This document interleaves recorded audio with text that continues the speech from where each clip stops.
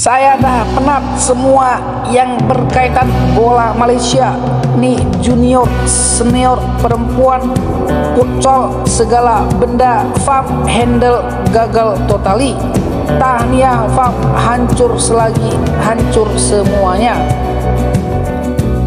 Timnas Futsal Vietnam sukses mengalahkan Timnas Futsal Malaysia dengan skor 2-0 dalam pertandingan grup A Piala AFF Futsal 2024 di Terminal Hall Nakon Ratchasima Senin. Pertandingan Malaysia versus Vietnam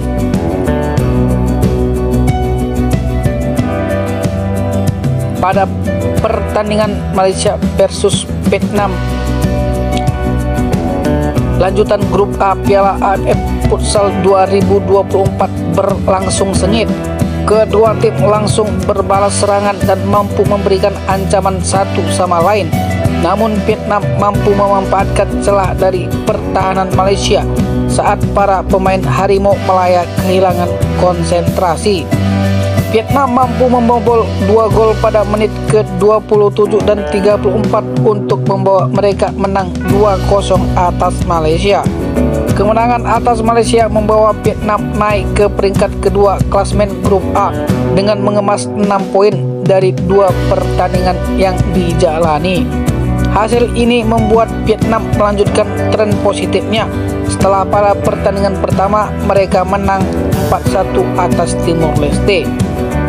Sedangkan kekalahan dari Vietnam membuat Malaysia turun ke peringkat ketiga klasmen grup A dengan torehan 3 poin dari dua pertandingan yang dijalani. Kekalahan ini membuat Malaysia gagal melanjutkan tren positif setelah pada laga pertama membantai Brunei Darussalam dengan skor 11-0. Pada pertandingan selanjutnya, Vietnam akan menghadapi Brunei Darussalam pada Selasa 5 November yang kini terpuruk di dasar klasmen grup A.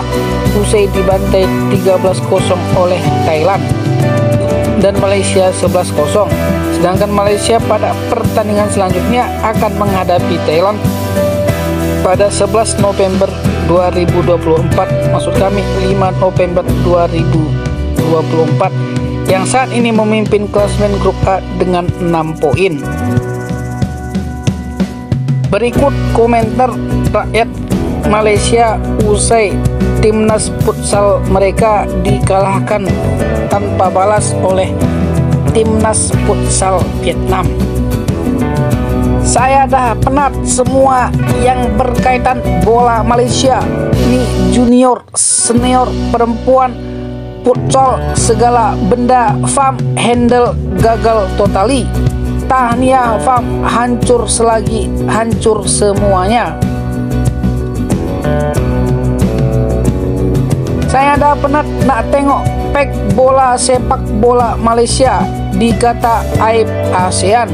Ini semua karena TMJ dan media-media perosak bola sepak Malaysia Jayalah selalu Tok Midin. Ah macam best kaca ba komen baca komen bawah ni. Cadangan orang kau blok hina negara orang mana nilai harga kau sebagai warga negara. Liga Futsal tak payah ambil import player pakai lokal aja semua insya Allah padu Tahniah Malai atau Midin stay sampai bila masa menyala. Hidup Datuk Hamidin. Apa benda ni weh? Apa ini? Cok. Kuak kuak kuak kuak kuak. Harap menang lawan Thailand. Malaysia bisa dibenamkan Thailand lagi. Harap pulang kampung. Emang lagi drop ini negara?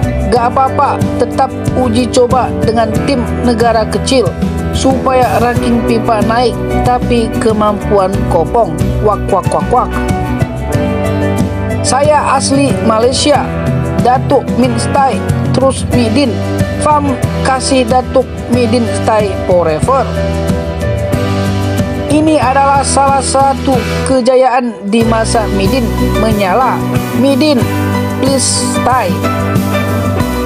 Comeback stronger, tapi sampai bila? Kenapa Malaysia tak pakai apparel lokal? Kita ada peningkatan. Wak wak wak wak. Kedudukan sementara Sukan Futsal ASEAN 2024 Malaysia 100 poin Brunei 10 poin Brunei B20 19 poin Brunei B17 8 poin Brunei Fan Futsal 3 poin. Malaysia layak ke separuh akhir menantang Thailand.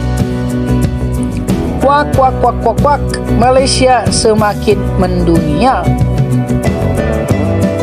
Ed Jack McQueen dibalaslah lagi dan lagi dibalaslah perpanjangan meraung di jiwa-jiwa bodrek. Indonesia nggak punya halaman sendiri kah?